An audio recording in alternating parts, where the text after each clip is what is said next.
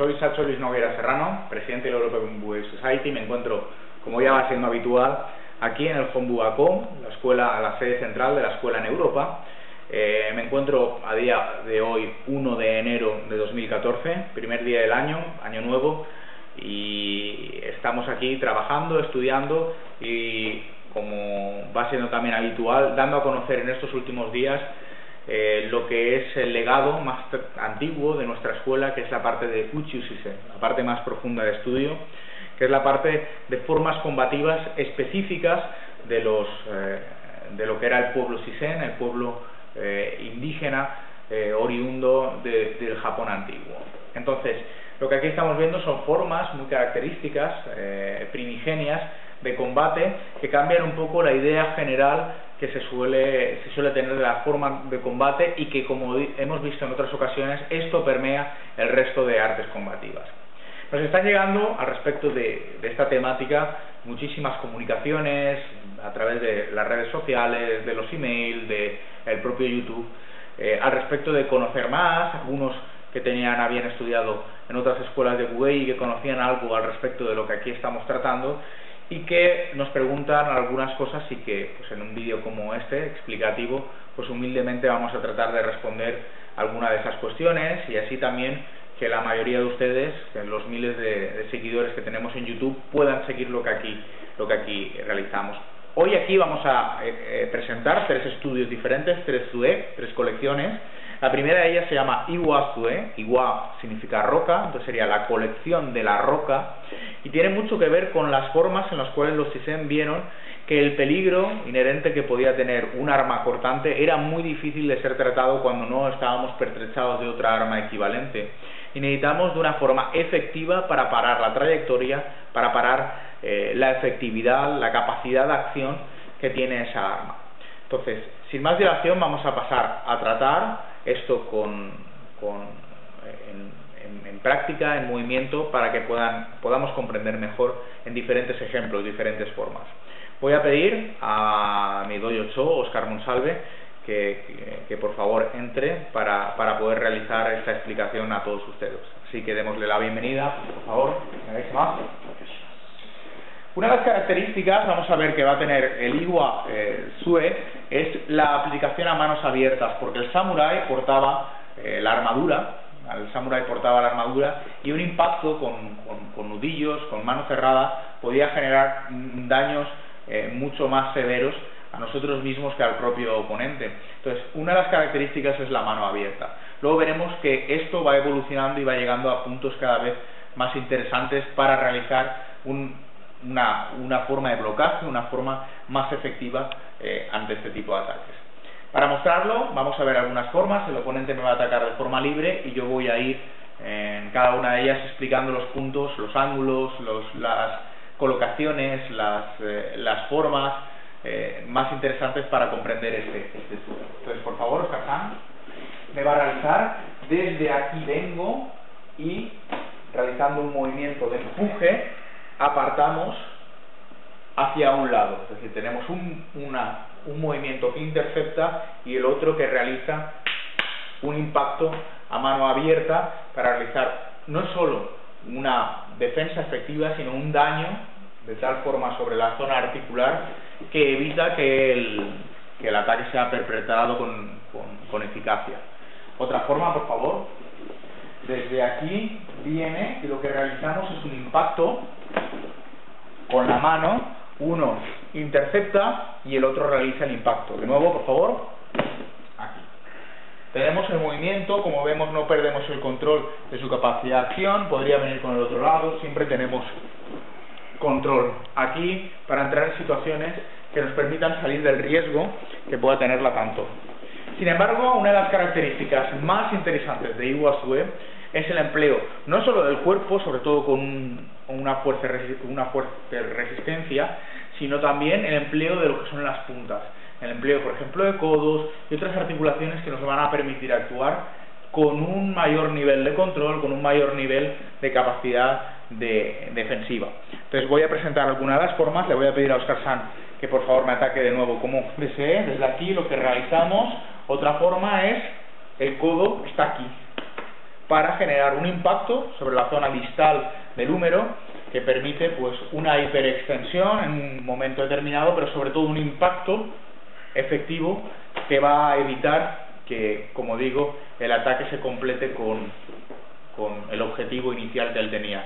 Otra forma meramente eh, ilustrativa para que también comprendamos alguna cuestión más. Me vuelve a atacar, mi brazo protege y el otro entra teniendo protección en el lateral. De nuevo, por favor. Aquí. Para tener y tenemos control sobre el oponente en esta área de aquí. Con esto vemos a grandes rasgos lo que sería un estudio interesantísimo de cómo los CISEN veían eh, cómo tratar situaciones en las cuales eran eh, atacados en una trayectoria dispar con ataques de filos cortantes, cuchillos u otro tipo de armas. Ahora, bien, vamos a tratar otra temática completamente distinta. Nos están preguntando al respecto de un eh, de lo que es un eh, otro sudé que se llama de Karamaru sudé. Karamaru significa envolverse, enredarse y tiene que ver con unas formas muy específicas de cómo amagar, de cómo en un primer lugar no ser percibido por parte del, por parte del, del oponente, eh, diríamos no la estrategia, pero sí eh, el objetivo que estamos teniendo en la técnica en la defensa. Entonces, voy a pedir a Oscar Sam, vamos a necesitar de, de katana, vamos a necesitar en este caso de, de Bokuto para poder realizar. Entonces, le voy a pedir por favor que, que sujete un Bokuto, que pase a mi derecha y yo también optaré por la, la selección de otro, en este caso con con una, con una vaina que nos será necesaria para la aplicación y explicación de las técnicas que hoy tenemos aquí que presentar. En un primer momento, para trabajar el, el Karamaru vamos a, solo por un objeto, mm, digamos, didáctico, de conocimiento, vamos a trabajar a nivel de psico, para realizar una técnica y también variarla con respecto a lo que estábamos haciendo. Entonces, por favor, Oscar San, comenzamos en psico. Él va a tener la espada ya sobre la cabeza, me va a intentar atacar. Si intentara desde aquí sacar la katana, él va a tener quizá muchas más posibilidades de cortarme, porque aunque sea rápido, aunque tenga un movimiento de piernas capaz y suficiente, es decir, tenga la técnica suficiente para llegar a lo que necesito, es muy posible que él tenga un menos recorrido y pueda y tenga un riesgo muy elevado. Entonces lo que vamos a hacer sin que él perciba es un movimiento sujetando en Gyakute y realizando un impacto en Tsukaate que lo que va es a detener el ataque. Entonces, de aquí tenemos este movimiento, realizándolo, por ejemplo, sobre, sobre la garganta. Desde aquí podemos sacar, bloqueando, mi brazo protege para que aquí no se perpetre el ataque, tiene un bloqueo mecánico y a la vez el corte que está bloqueando. Paso al lado y desde aquí viene si aquí está, pasaríamos a controlar y desde aquí podríamos clavar. Para finalizar. Entonces tendríamos la técnica, por ejemplo, una técnica psico realizada en lo que sería la técnica específica, como hemos dicho, de envolver, enredar, para eh, eh, tener la defensa. Vamos a ver otras formas, por ejemplo, en este caso él me va a atacar con un eh, eh, maku, makuchi, desde aquí vamos a ir en una situación de encuentro, de agua C, vamos a unirnos. Entonces, desde aquí cuando él me ataca, vengo de la misma forma, bloqueando, bloqueando sin que él perciba. La katana sale a este punto y aquí tenemos. Vamos hacia adelante, ya desde aquí tenemos el control, pudiendo clavar en el cuello. Otras formas, por ejemplo, ante otro tipo de ataques, vamos a, realizar un ataque aguilir, salimos hacia el lado, bloqueando, tenemos que salir de una forma que no estemos, estamos aquí, tenemos un problema, va a estar cortando, tenemos que salir y desde aquí lo que vamos a realizar es ahora la otra mano y desde aquí salimos y desde aquí tenemos acceso sobre todo a la zona del corazón, la zona de la garganta, etc. Muy bien. Esto es lo que sería Cara que es un estudio, como vemos, que envuelve eh, propiamente, como digo, envolver al oponente con, eh, con las propias técnicas de la katana. El último que vamos a ver hoy es el estudio de Kade Sue, que es un estudio interesantísimo, eh, que tiene eh, que ver con el empleo de las capas que eran como prendas de viaje. Estamos hablando del Hikimawashi Gappa, que era una prenda que se utilizaba como, como, como sobretraje, como una capa propiamente encima de lo que serían los atuendos de viaje. Voy a utilizar una tela que me sirva para comprender un poquito mejor el estudio y desde aquí vamos a realizar unas técnicas de forma rápida para comprender el empleo de la, de la capa como si fuera una forma de combate.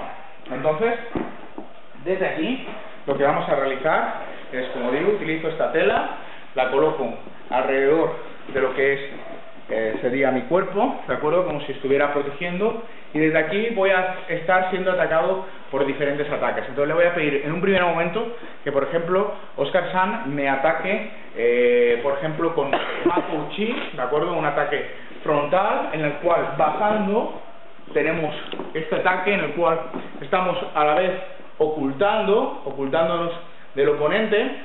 Desde aquí paso alrededor del cuello y la otra mano viene por aquí cruzando. Esto ahora tirando y estrangulando. Esto podríamos llevar al suelo, golpear, etcétera. Esto sería una forma. Como vemos, lo que hemos es enrollado a través del brazo, el brazo queda bloqueado, no puede realizar ningún movimiento y a su vez las telas están cruzándose de forma que estrangulan el cuello. Otras formas, le voy a pedir por favor que me ataque, por ejemplo, con katana, una forma interesantísima.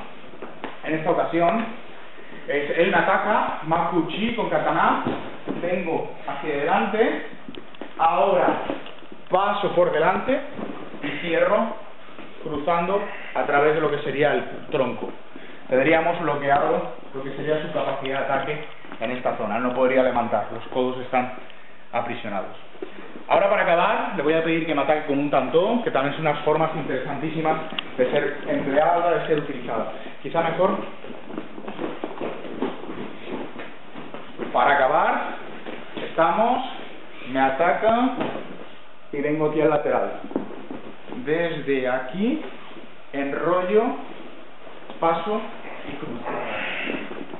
Y desde aquí tenemos el bloqueo estamos a salvo del, cuchillo, el cuchillo también está bloqueado por la tela y estamos protegidos. Y esto eh, serían algunas de las formas de lo que se llama Kagesue, Kage es de sombra. Cuando hablamos eh, de la, del Hikimawashi Kappa, era también muy utilizado por los Sisen para ocultarse, para realizar algunas maniobras evasivas, algunas maniobras defensivas, como en el Kagesue acabamos de mostrar, y que son interesantísimas porque la capacidad técnica es enorme. Entonces, tan solo para acabar, recordar que hemos trabajado de Iguazue, las formas de defensa, las formas de, de golpeo para parar las, los ataques efectivos, Karamarusue, las formas con la katana, y finalmente Kadesue, estas formas utilizando una capa, un sobretraje sobre nosotros mismos. Agradezco la atención y deseo, como no podría ser de otra forma, un feliz año. Muchísimas gracias.